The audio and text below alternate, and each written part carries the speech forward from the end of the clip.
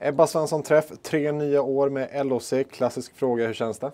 Nej, det känns bra. Det, det ska bli jättekul och jag är väldigt eh, glad och tacksam att jag får stanna här i Linköping i tre år till. Hur kommer det sig att det blev just tre säsonger till?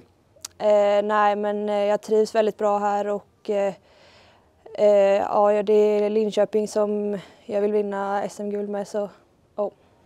Vad är det som gör att du trivs så bra här då? Jag tycker vi, ja, vi har ett bra lag och många sköna personer så det är ganska lätt att trivas. Du är 19 år gammal och det här är din andra riktiga säsong i damlaget. I år kan man väl säga att du har fått ett riktigt genombrott. Vad är det som klickat för dig i ditt spel tycker du?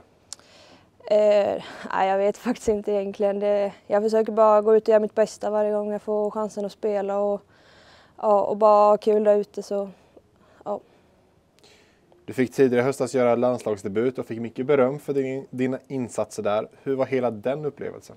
Ja, det var sjukt häftigt. Det är ju något man har drömt om sedan man var liten och började spela hockey. Så ja, det var väldigt häftigt.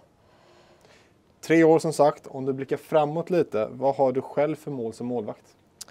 Eh, nej, men det är väl eh, att eh, spela så mycket som möjligt, eh, så många matcher som möjligt här i, i SDHL då och sen eh, ja, någon gång komma med i landslaget igen.